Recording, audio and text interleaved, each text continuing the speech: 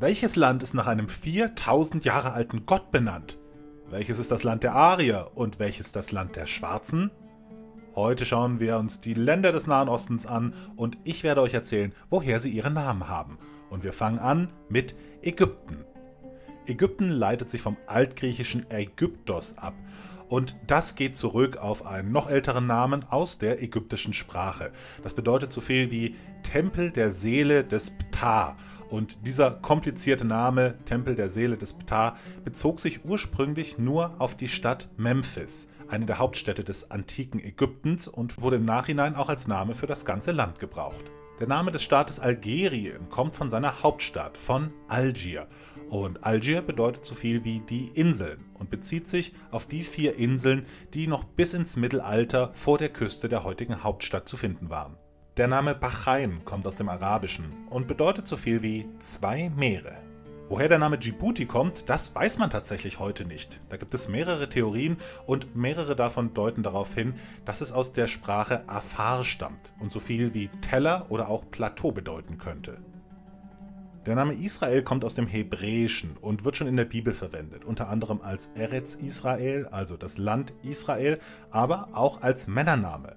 Der Name Israel wird an Jakob verliehen, den Enkel von Abraham, einem der Erzväter des israelitischen Volkes. Und diesen Namen bekommt er, nachdem er laut biblischer Überlieferung in der Wüste mit einem Engel gerungen hat.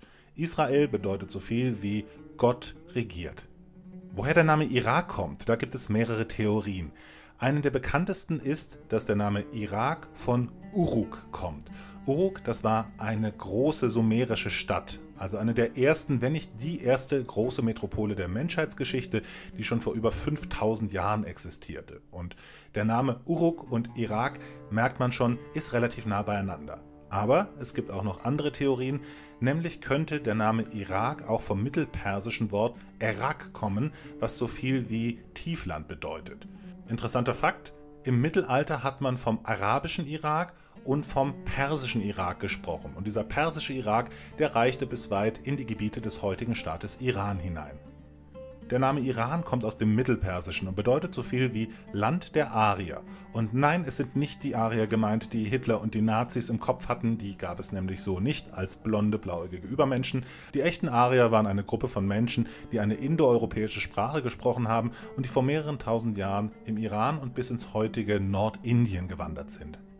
Was der Name Jemen bedeutet, da gibt es auch wieder unterschiedliche Theorien.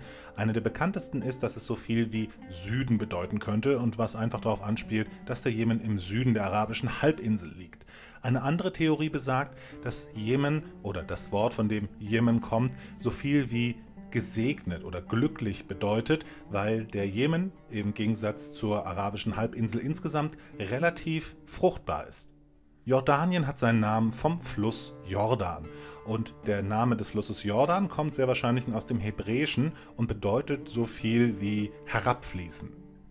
Der Name Katar wird schon vom römischen Schriftsteller Plinius dem Älteren verwendet und man vermutet, dass er sich auf die Katarei bezieht, eine Gruppe, die etwa vor 2000 Jahren im heutigen Katar gelebt hat. Der Name Kuwait stammt aus dem mesopotamischen Arabischen und bedeutet so viel wie Festung, die nah am Wasser gebaut ist.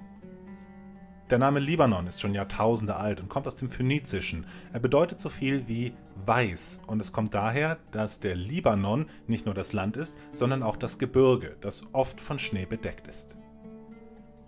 Der Name Libyen kommt von den Libu. Das war ein Volksstamm, der im heutigen Libyen gelebt hat, und zwar zur Zeit der Pharaonen. Es gibt also schon schriftliche Überlieferungen aus der Zeit von Ramses dem Großen von vor über 3000 Jahren, die von den Libu im heutigen Libyen sprechen. Übrigens, ganz wichtig, wenn ihr den Namen Libyen schreibt, das I kommt als erstes. Man schreibt es L-I-B-Y-E-N, nicht L-Y. Libyen.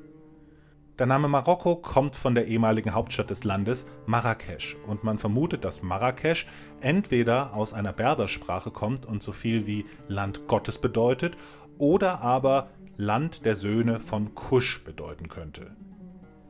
Woher der Name Oman kommt, das ist auch nicht ganz klar. Eine Theorie besagt, dass der Name Oman von der Stadt Soha kommt. Das war in der Antike ein Stadtstaat im heutigen Oman und der wichtigste Ort. Und sein Name bedeutet so viel wie niedersitzen oder sich zur Ruhe setzen.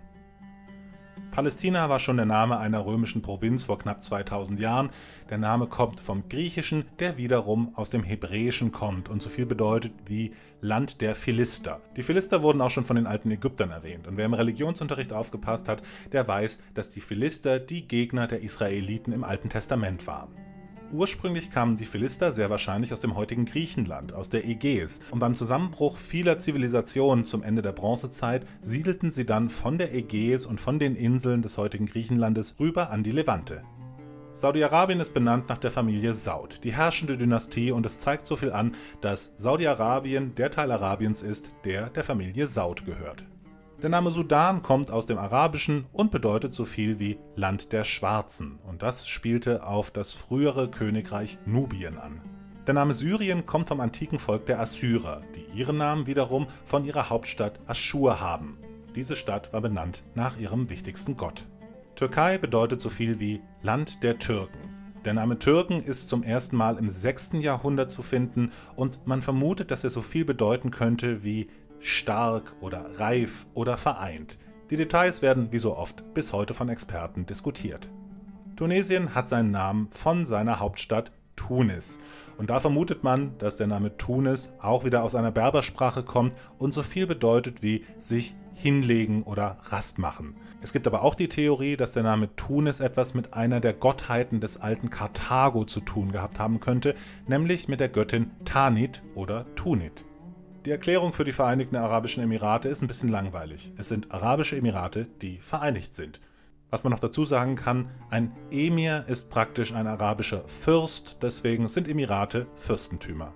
Der Name Zypern ist schon mehr als 3000 Jahre alt und kommt aus dem mykenischen Griechischen.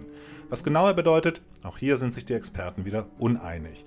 Eine Theorie besagt, dass es einen Zusammenhang mit dem Wortursprung von Zypresse geben könnte. Eine andere Theorie besagt, dass Zypern seinen Namen von dem sumerischen Wort für Kupfer hat.